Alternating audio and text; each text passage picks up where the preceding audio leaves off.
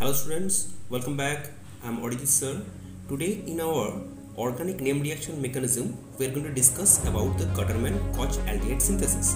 So students, what is actually Gattermann-Koch aldehyde synthesis? First, benzene actually reacts with carbon monoxide and hydrogen chloride in presence of anhydrous aluminum chloride and some few amount of cuprous chloride also in ethereal medium to produce benzaldehyde okay?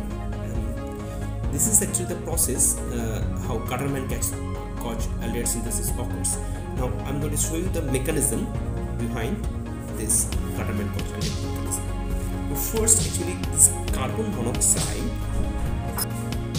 carbon monoxide is actually like this.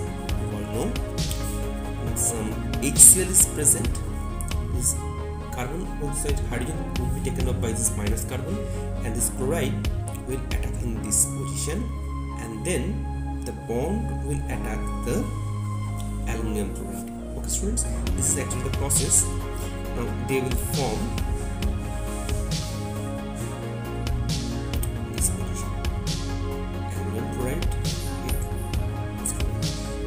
next step is very interesting. You can see this bond will break over here and the chloride gets out. So minus LCl4 gets out of the system and it will form HCO plus okay? Now benzene is present there. You all know that in this way benzene is present okay?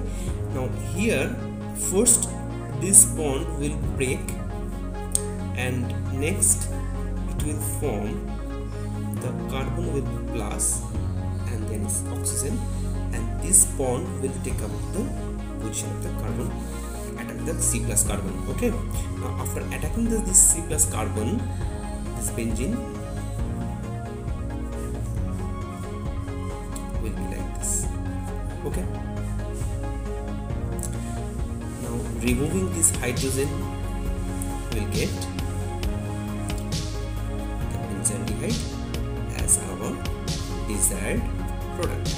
Okay students so this is actually the basic system how uh, this mechanism actually occur from here the Cl minus will uh, removed and this H plus that was already removed they will form the HCl again okay. Now here actually uh, the aluminum chloride the stress amount of uh, CuCl2 are acting as the catalyst and this is the whole mechanism I am already showing to you. Students so hope you like this video how Gattermann Koch reaction occurs. Okay. So don't forget to subscribe my channel and please share with your friends. Thank you students